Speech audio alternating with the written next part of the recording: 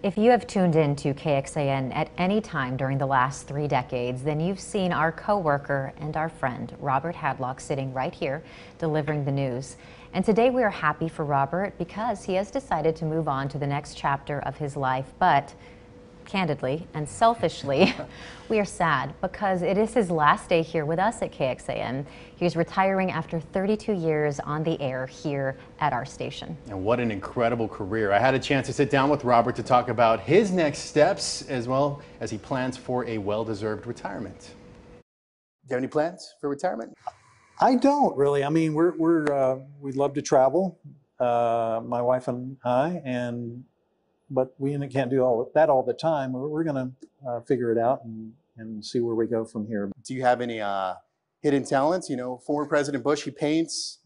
President Obama, he does the, the kite surfing. You're going to take a, uh, some kite surfing out on the lake? Well, I have uh, tried golf in the past. I've kind of let it go for now, but it, it might be in the future, uh, making a comeback. And, uh, as bad as I am at that, it's, it's still intriguing. I love watching golf on television. It's a weird feeling to be uh, stepping away, but I think the time has come, and I'm very happy for you uh, to get this position. All right, well, Robert Hadlock, on behalf of KXAN, on behalf of Austin, all of Central Texas, all of our viewers, thank you so much for everything you did over 32 years, your service to our community. I just, it's not going to be the same without you. So thank you, Daniel. I'm, I'm very happy for you.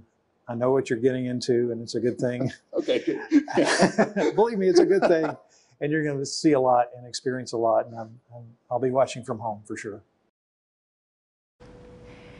really nicely done. I know that there's a lot of pressure when you interview somebody like Robert who has years of experience, and that's honestly what I'll miss the most about him. He's always talking about the news. He's invested uh -huh. in the news stories, what NBC, our network, is airing, and he's always showing me clips, and so I'm going to miss his history and his wisdom.